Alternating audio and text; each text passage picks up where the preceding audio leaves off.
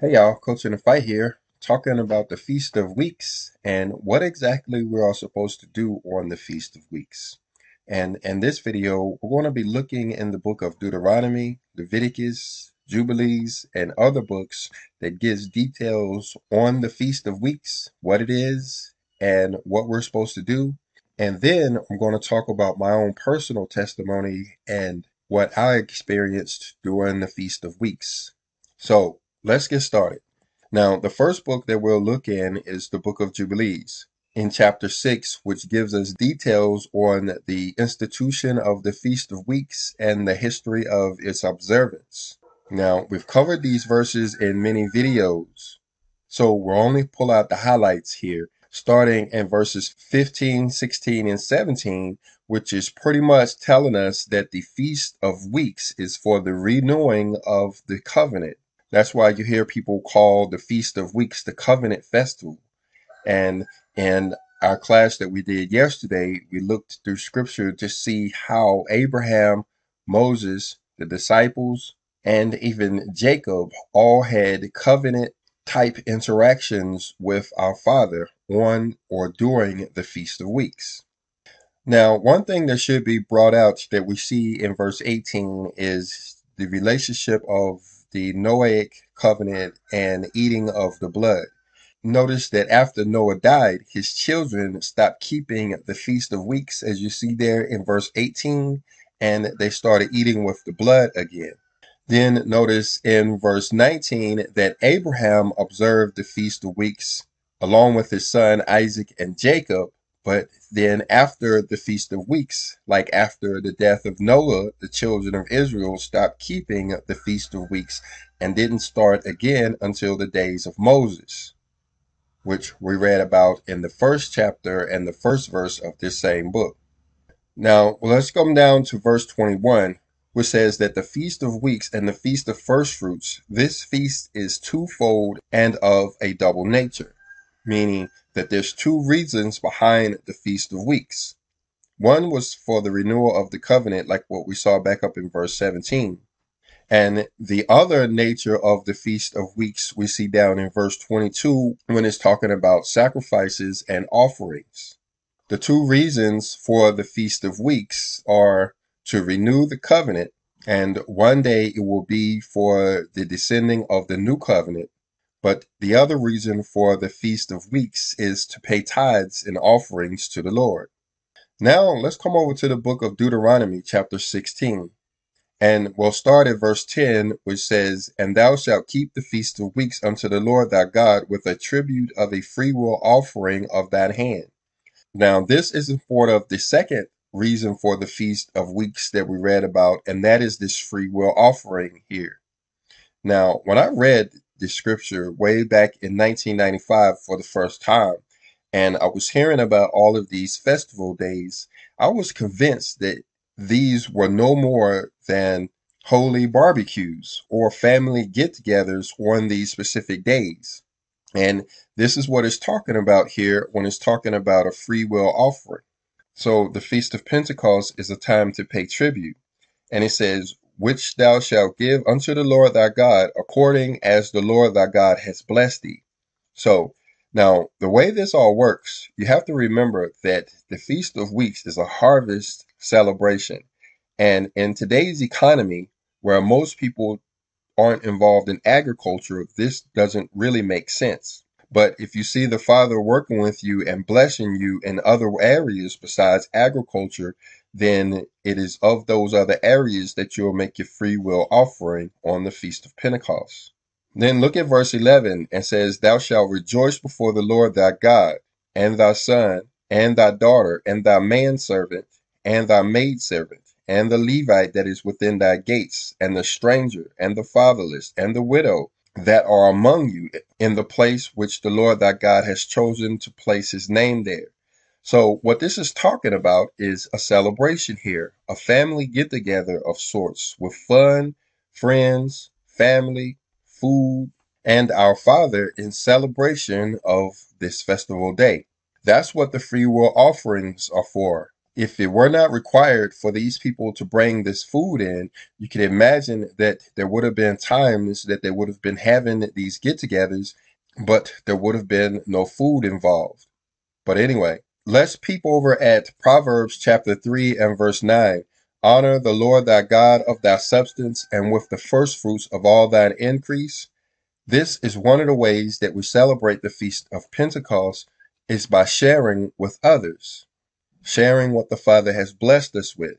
And looking back over at Deuteronomy chapter 16, we see all of these people that we're supposed to invite to our holy convocation on Pentecost. So the way this all works is we bring these people in, everybody who lives within our gates, as well as the poor, the widows, the fatherless, and the stranger to partake in this festival. So this is why I say many of these festivals, including Pentecost or the Feast of Weeks, is like a family get together because you have all of these people here celebrating on this particular day with all of this food and rejoicing. So let's jump over here and let's look at the book of Tobit, talking about Tobias, where we see that his dad, Tobiel, is returning from a journey during the Feast of Weeks. It says in verse 2 Then during the reign of Esarhaddon, I returned home, and my wife Anna and my son Tobias were restored to me at our festival of Pentecost, which is the sacred festival of weeks. A good dinner was prepared for me, and I reclined to eat it. Now, as far as an example of what we are supposed to do during the Feast of Pentecost, we see that Anna has prepared a goodly meal for Tobiel at his return. So this lets us know that this was a big dinner celebration, like we said earlier, with food and family. But then notice in verse 2, it says, When the table was set for me and an abundance of food placed before me, I said to my son Tobias, Go, my child, and bring whatsoever poor person you may find of our people among the exiles in Nineveh, who is wholeheartedly mindful of God, and he shall eat together with me. I will wait for you until you come back. So here is Tobias being sent out into the community to find the poor, the widows, the Levites, the exiles, to bring them back to this dinner celebration. Now, another document that I will submit for evidence is the book of Josephus. Now, I know this is not scriptural text, and we could tell that because of the errors that it has in it. But in the Antiquities chapter 10, and verse 6, we can see Josephus's account of what they were actually doing in celebration of the Feast of Weeks. You see here, it says, They bring to God a loaf made of wheat flour, of two tenth deals with leaven, and for sacrifices they bring two lambs. See, now, the way I understand this, back in the day, like we were saying, everybody was into agriculture. So you had plenty of people who were raising lambs and what they would do before the Feast of Pentecost is they would run them under the, what they call the tithing gate, where they would count the sheep. And every 10th animal that passed under this gate would be holy and would be part of this sacrifice that they would make. And on the Feast of Pentecost, they would haul all of these animals down to Jerusalem and donate them to the priests, who would then prepare a meal for themselves and the rest of the people there to enjoy the Pentecost celebration. You see here where Josephus says, and must slay the sacrifices in order to feast upon them. This was the main reason for all of these sacrifices that were made back in the day. This was actually food that the people were eating on these festival days. Now, let's come over to the book of Leviticus and chapter 23. Starting in verse 15 is where we start to hear about the Feast of Weeks. But it's down in about verse 17 that we see what it is that we're supposed to do. And it says that we're supposed to bring out out of our habitations two wave loaves of bread made with fine flour. Again, reminded us of the harvest celebration nature of these festivals and how back in the day before the 1800s, when people started taking on jobs and were growing their own wheat, they would make bread out of a portion of that harvest and they would bring that bread to this festival. So now you have bread and you have lamb and other things that are offered for this celebration. To me, this all sounds like a big cookout. Now, you're looking in verse 18 where it goes on talking about these offerings that are to be made. And you have to remember that this would have been the actions of the Levites and the priests. It was the common man that brought these animals in for the priests to make these sacrifices. These are what's called offerings made by fire. And I know this kind of freaks people out when they start hearing about sacrifices and all of this stuff. But again, you have to remember that this was actually food. When you look closely at the scripture and how these sacrifices were supposed to take place, most of them, especially the free will type, the part of the animal that was actually burned or sacrificed to the Lord was the part that I believe he didn't want us eating like the visceral fat and the kidneys, which we know are bad for you. Well, those are the parts of the animal that we are instructed to burn upon the altar. So imagine you have just dispatched a lamb and you're about to start processing this animal for eating. But there are certain parts, this fat and this kidneys, we are expected to throw on the fire of the altar. But guess what they did with the rest of the animal? Yep, that's right. They ate it. So it's really the word only that's off putting when you say sacrifice. But you have to understand that anytime an animal is killed, that animal has been sacrificed. The only question is, was it sacrificed according to the scripture where the fat and the kidneys are burned on the altar? Now, that's the reason why I try not to buy meat from the store because I'm almost absolutely sure they're not sacrificing the fat when they are slaughtering these animals, especially when I see them not even working to get the blood out. But anyway, let's come back to Leviticus chapter 23 and verse 20 when it's talking about how the priests are supposed to make this wave offering. So here you have brought your bread in for the priest, and all he does with it is wave it as if to present it before the Lord and then he puts it with the rest of the materials that have been donated. That's what it means in verse 20 when it says, They shall be holy to the Lord for the priests.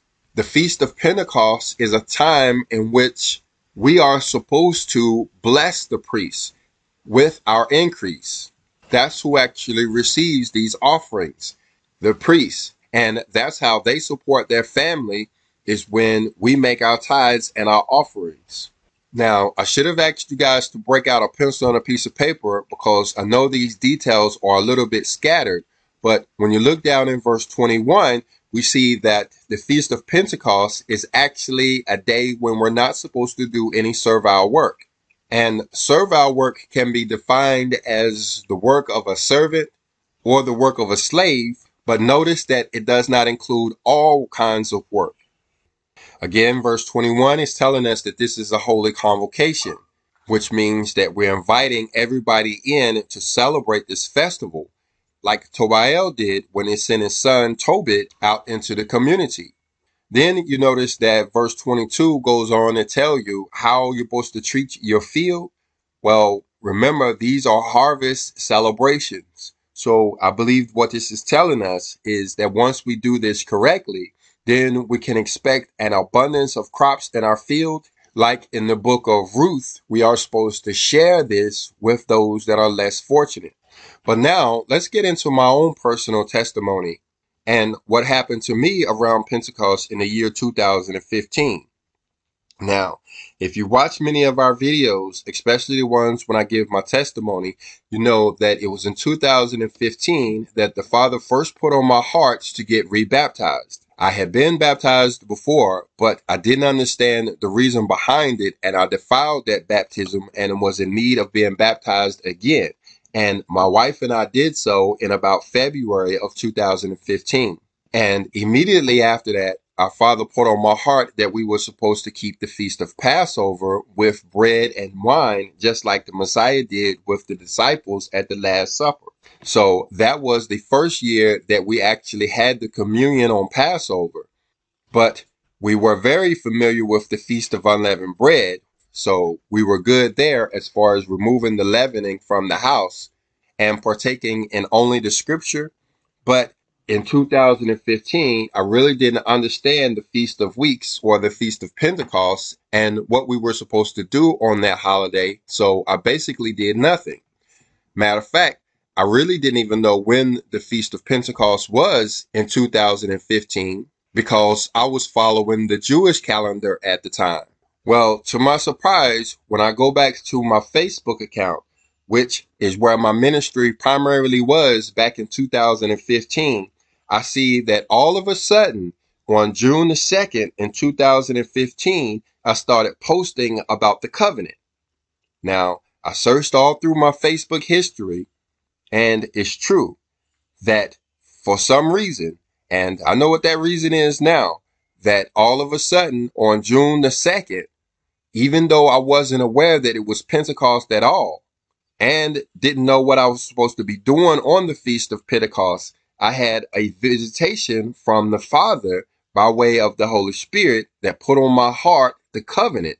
And from that moment on, I started researching and studying the Father's covenant, which is Exodus chapter 20 through 24, verse 7. And ever since then, I believe I've had his laws on my heart. So the point of all of this is that even though I didn't know what Pentecost was or when it was, the only thing that I could look to say that I did right was taking off from work on that particular day because I had already left the industry and was already working towards the hillbilly homestead. Taking off work was the only thing that I believed that I got right that year, but still our father put the covenant on my heart. So the way I believe this all works is that we are purified in the first month where we start preparing our temples for the new covenant. And we receive that new covenant in the third month during the Feast of Pentecost or the Feast of Weeks. And to aid us in that spiritual change, we make sacrifices to the priests and the less fortunate.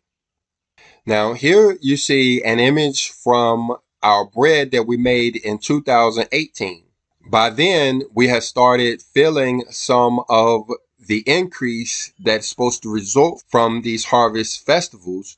And for the first time, we actually got to make bread out of wheat that we had grown out there in the field. And you see, back then we had our wine to go with our bread. And you see my horn there, which we know that we are supposed to blow the horn on every festival day. And we see in the pot there the offering made by fire so this was our Pentecost meal in the year of 2018, which consisted of the two loaves of bread for the first time. And this is what it looked like in 2020, which by then we had learned to make our own wine. And that what you see here is made from blackberries. But you notice that the two loaves don't look quite the same. Well, that's because of COVID-19 and there was a lack of yeast on the shelves. We tried to make our loaves of bread out of sourdough, but they didn't rise. But anyway, we tried. That goes to show that it's not necessary that we actually get everything absolutely correct. The point is that we remember these days and treat them like holy convocations every year. Now, it should be brought out that these two loaves of bread have to be made with leaven. Normally, no leaven is allowed in the festivals, but the Feast of Weeks is different because we are required to have leavening. So whereas during the Feast of Unleavened Bread, we were to remove all leavening from our house, which we understand to be the church doctrine. And now we are coming out of our house with new leavening. So the way I understand that is that we remove the church doctrine during the Feast of Unleavened Bread. And for the next 50 days, our Father is working with us introducing his doctrine. So on Pentecost, we are to present this new understanding that our Father has revealed to us. Now, this makes perfect sense for those of you who partook in the Feast of Passover for the first time because you will have a bunch of new revelations as far as our Father and His scripture is concerned. So you will have plenty of leavened bread to share with the rest of us. So maybe you should consider finding an outlet for these new understandings. So what do you do on Pentecost? Have a cookout. Invite the poor and the widows and the Levites to come join you. Do all of your preparation work on the 14th day of the month and serve your guests on the 15th day of the month. And try to find a quiet place on the 16th day of the month just in case our Father comes to visit you to talk about the covenant. Now, if you have any questions or concerns or anything, please put them in the comment section below. We still read all of the comments that you guys make. And like this video, this was the result of the questions being asked in the comment sections. So please continue. It helps us to know what videos and what information we need to put out. And with that, I'm going to say shalom.